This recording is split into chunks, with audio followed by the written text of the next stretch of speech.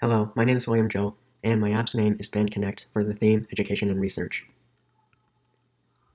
My app helps band teachers distribute information and collect student data, uses face model to pre-process face profiles, and allows teachers to pull student data from the app, approve student instrument and class assignment, and use ChatGPT to get information. It significantly improves the efficiency of the current band recruitment process by almost five times.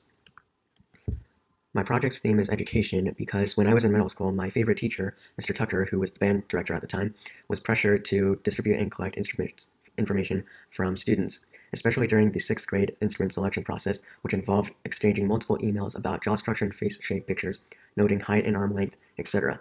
So I decided to design this end-to-end -end application, Band Connect, so band teachers can distribute their requests to students and collect information seamlessly in time. This application also uses technology such as Face Mesh to help with the instrument fitting process and ChatGPT for additional research sources. Teachers can approve and decline student requests and submissions by clicking buttons instead of multiple emails, further saving time. Some technologies used were the Face Mesh extension, which can plot out facial features, Firebase DB, TinyWebDB, and Chatbot component to allow access to ChatGPT.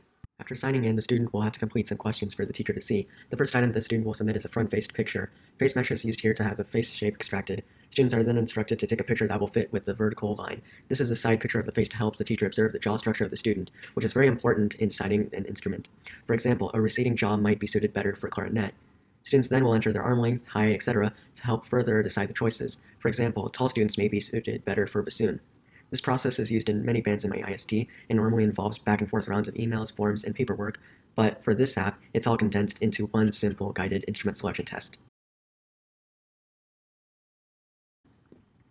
If the user is a teacher, then after setting up their account and verifying their role, they can view their student submissions to recommend if they are suitable for a band instrument by checking their characteristics such as height and arm length, after, they can go to the main menu to go back to the submission screen, view a list of members, or go to assignments and announcements, where they can use ChatGPT as an informational resource, such as finding out where to host a band event.